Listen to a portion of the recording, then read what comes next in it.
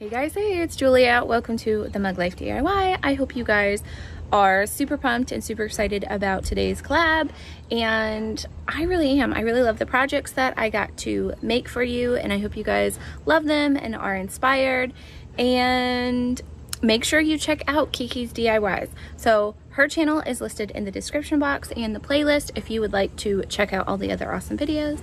And let's jump into it and so thrilled that you decided to check out this super fun Harry Potter DIY, which I actually have four of them today.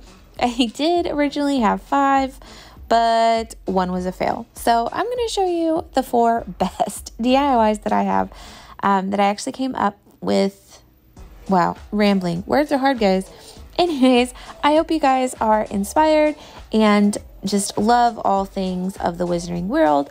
I drew my inspiration from a lot of my books and the imagery, the few pictures that are in there, and a few little here and there parts from the movies.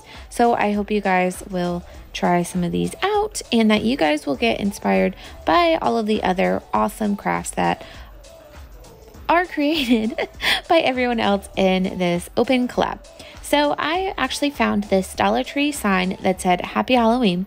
And as soon as I saw it, it literally just, the font, it reminded me like so much of the Harry Potter. And so I decided to what I'm going to call Frankenstein, my own Harry Potter sign. So I cut it first in half, and it is made out of plastic, guys. It's not uh, the Dollar Tree MDF signs. This is a little bit harder to cut. So, as I was saying, this is the Harry Potter collab that my co host is Kiki's DIYs, which she will have her video right after mine. And I hope you guys will just be inspired by all of the awesome creations. Be sure to check out her video out right after this. And you can also add your own Harry Potter video if you would like to join in the collab today, or if you would just like to watch all of the other inspirations.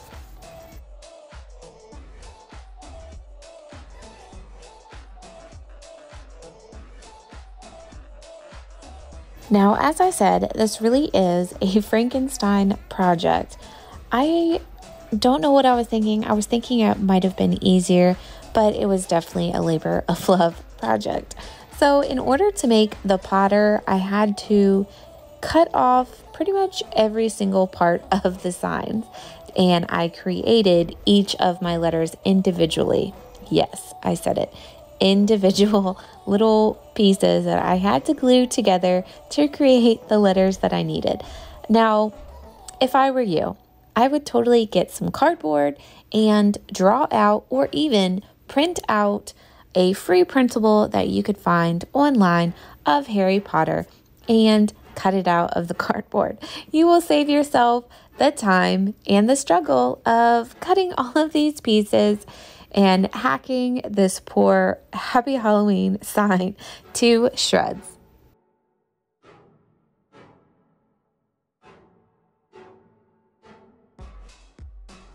Now, in order for my P in the Potter to look as close as I could to the actual um, letter, I did use some cardboard and I just cut out the lightning bolt and then I glued it to my sign yes, like I said, I did so many steps, extra steps. Just go ahead and draw this out. Or better yet, if you have a Cricut or other cutting machine, you could print out your own Harry Potter decal. Those are all options that sound so much easier than what I went through. But I do have to say, I love how it turned out. I even love how it's a little bit wonky and I know that I struggled, but I really love how the end project ends up. So let me know if you guys can tell how much of a Frankenstein piece this Harry Potter sign turned out to be. Have y'all had these projects where you're just so determined that you don't end up quitting? What do you consider them? Do you consider them favorite projects or fail projects? Normally, if I can't get a piece to come together, I consider it a fail. But I did end up pulling this one out. So I call it in my book a bonus happy ending.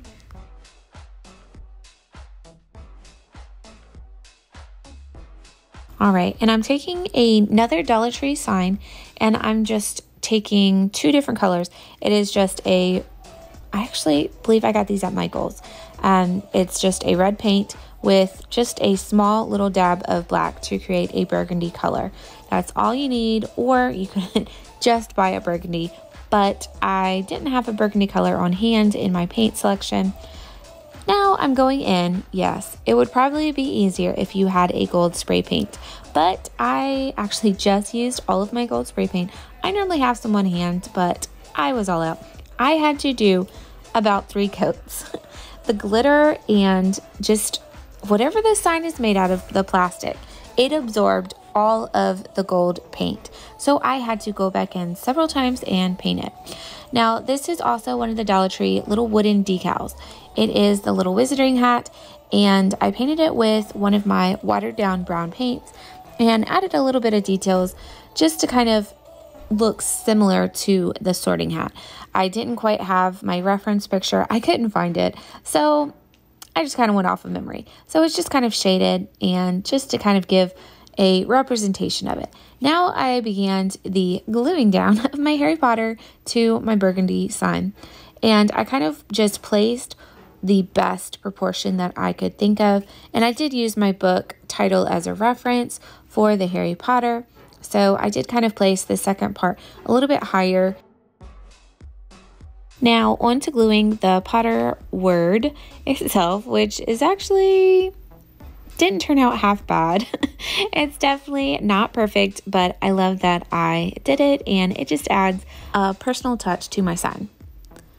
Now, I also wanted to add a, I'm not going to say a nickname because I was originally going to do one of the more famous Harry Potter nicknames as the Chosen One or the Boy Who Lived, but I kind of changed my mind mid direction as I was painting my sign. I did it in the Gryffindor color or the school colors of Gryffindor. So I printed out on my new Cricut machine and I printed out Gryffindor and put that on one of my signs. And then on the other sign, I put Seeker. Be if you don't know or if you haven't watched any of the movies, Harry Potter in like the very first book, he becomes part of the Quidditch team and he becomes this amazing, like automatically gifted seeker, which basically is pretty cool. You just kind of get to do your own thing the entire game.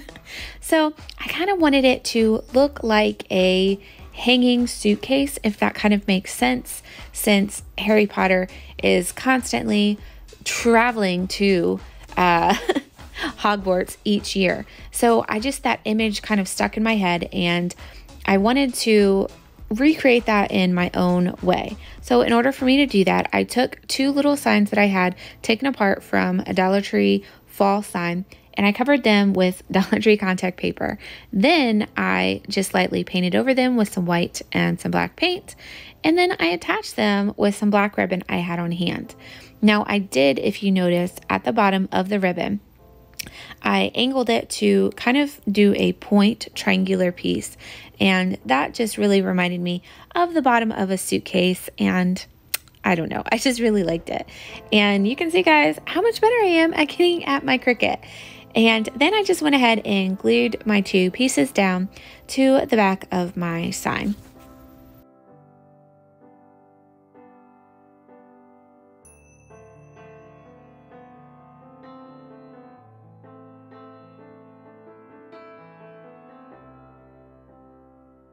All right, let's jump into project two.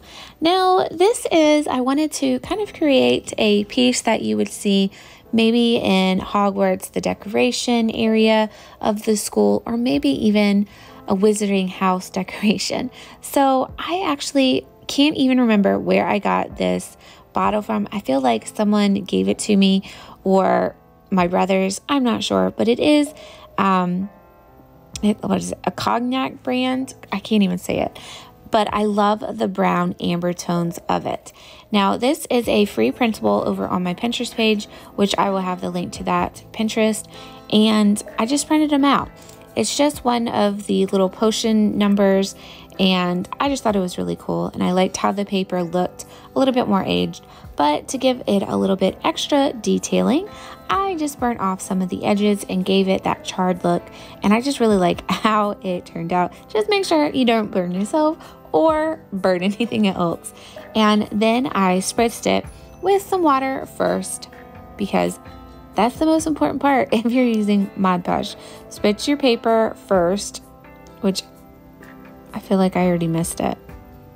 I? Maybe spritz your paper, guys. Then you're going to put your Mod Podge on. Then you're going to attach it to your glass bottle or container or whatever you have laying around. Now, dried it quite well. Then I wanted to add my floral arrangement to the top of it. Now, these are some leftover pieces from a actually, it was a live crafting event that I did with my friend over at Crafty Leanie and I had a couple of the little eye roses left, and I just thought they were so fun and cute. And I, I don't know, they kind of reminded me of Harry Potter. So I went with three roses, a few branches, and just kind of arranged it just really simplistic like. But I really loved the effect of the eyes were staring at you in the fun potion bottle.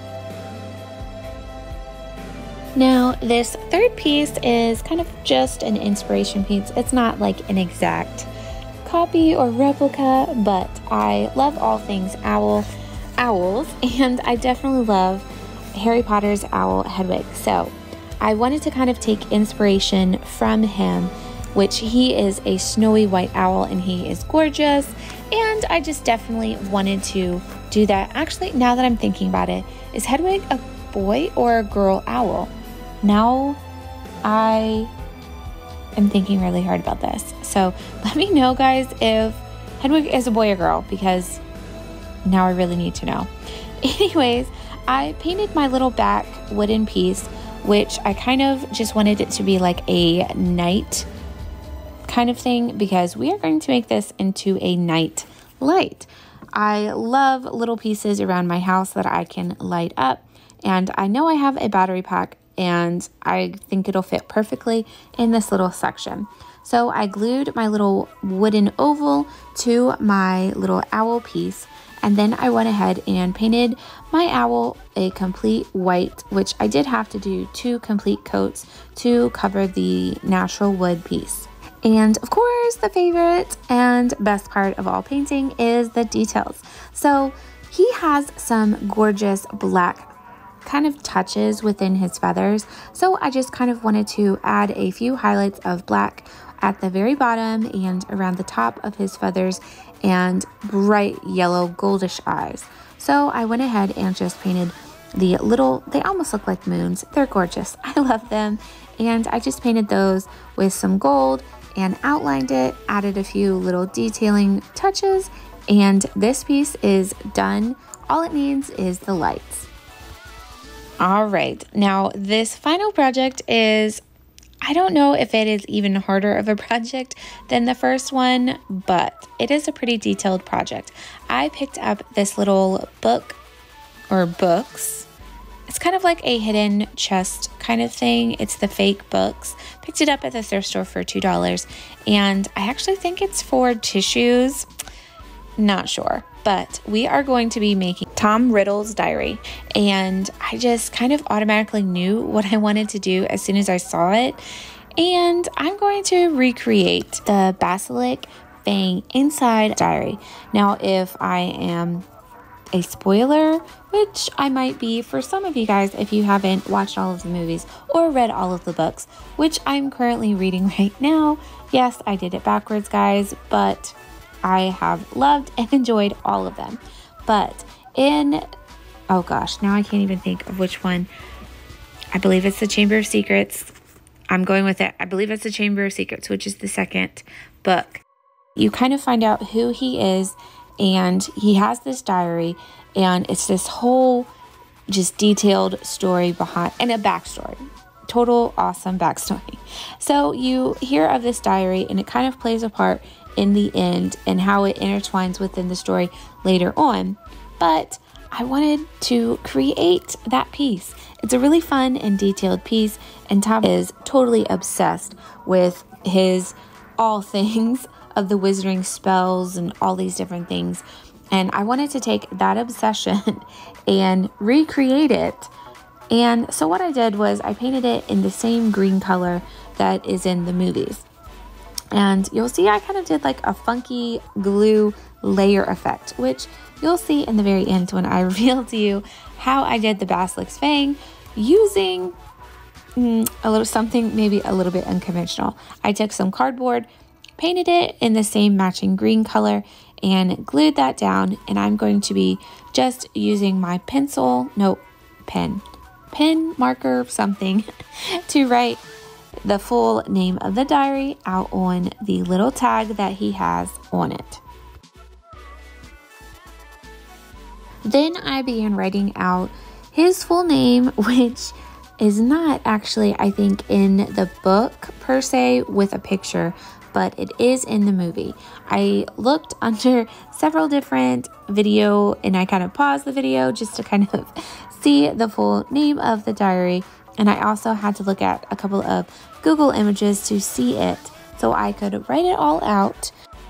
But it did have some really fun um, details, which I think the gold little leaflets on the edges and this little name tag, it really brought the book to life.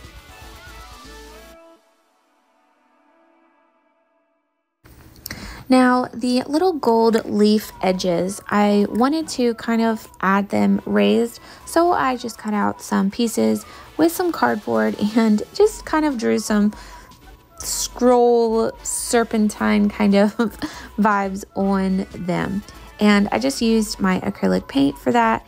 And I did outline it with my pen just to give it a little bit of a darker look.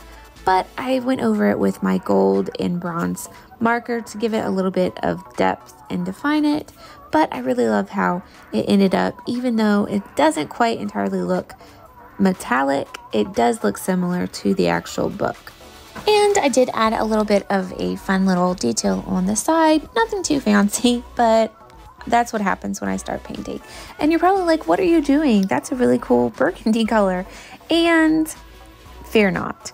I am doing a color match, which I like to kind of do a darker base coat and then I added the red over top and blended it out. And I really feel like it seamlessly added to the burgundy color that it already was, but I just had to cover up a tale of two cities. So I decided I wanted to kind of go along with who Tom really was and how obsessive he was. So I went with creating my own spell book. So I just used some extra cardboard that I had laying around from the other little edge golden pieces and I just wrote out spells and cut out each piece and then hot glued them to the binding of the book itself. And I am totally curious, curious, guys, if or just to kind of see which one might win. Are you a Harry Potter book fan or are you a Harry Potter movie fan? I typically am a book like those are my favorite. I always feel like the books capture my imagination so much better. Now, I did watch the movies first then I wa- then I started reading the books. I and I honestly I don't know which one I like more. I really like the movies and how detailed they really were and you know the acting it's super fun. It's kind of kid but you feel like you grow up with with them. So you see the characters progress and grow and I love that. But I don't know. I am almost done with book number 2 and I'm kind of hit, I'm kind of, I don't know. I'm kind of torn. I am loving the books. Even though they are, I guess, young adult books, I think they're totally, they're great even as an adult. So let me know down below which one is your favorite. I'm, I'm, I'm at a tie. So put me down for a tie.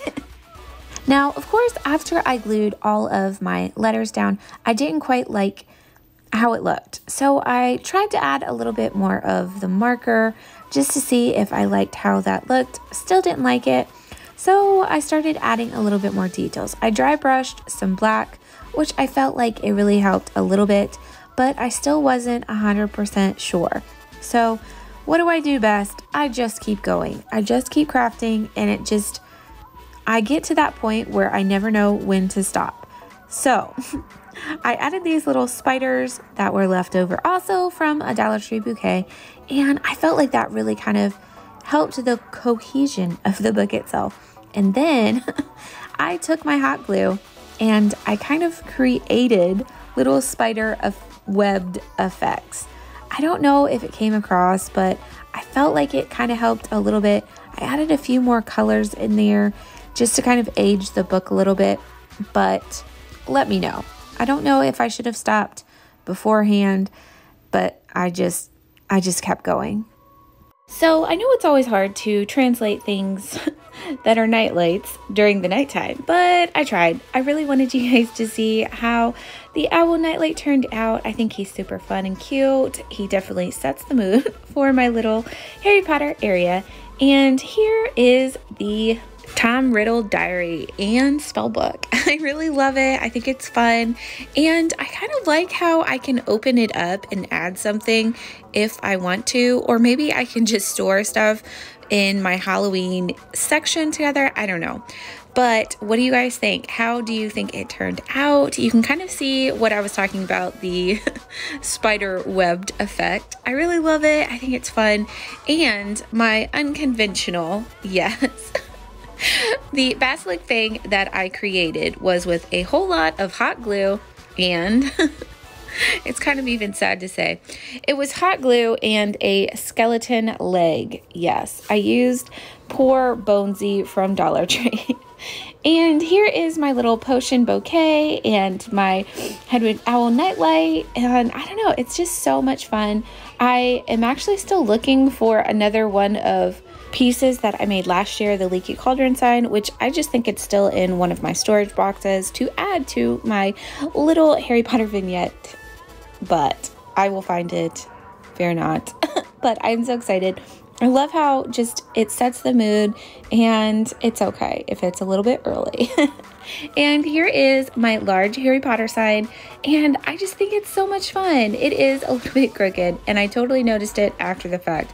But that's what happens when you're like me and you don't quite take the time to measure. Yeah, it'll be a little bit crooked. But I love how my Gryffindor, my vinyl turned out. I've gotten so much better. It still takes a lot of practice, I think, but I have been practicing and I hope you guys like it and enjoy it. And if you do want, I can add my little Gryffindor sign um, down to my Cricut Access or my Cricut Design Space so that you guys can print this out as well. And I am excited to see this collab grow, and I hope you guys find lots of inspiration. And I hope you guys have an awesome rest of the week, and I will see you guys next time.